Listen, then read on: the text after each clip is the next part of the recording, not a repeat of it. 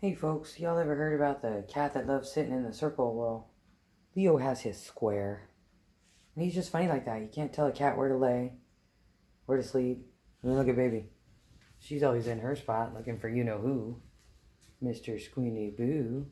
And we got Flu Flu over here. She's uh doing her thing in her box. I'm telling you that box has been very successful. Very successful. Oh, are you gonna leave your square? You're gonna leave your rock garden and your your camera that looks like a droid?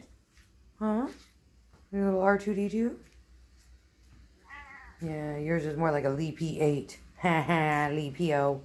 Get it? Lee PPO. That's you, Lee PPO. That would be your Star Wars name.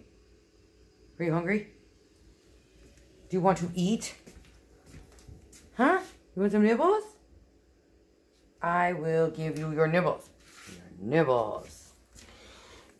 He loves his nibbles. Oh. Oh. That's not enough, Mommy. Give me more nibbles. Well, let's give you more nibbles. We keep him in his favorite Temptations container.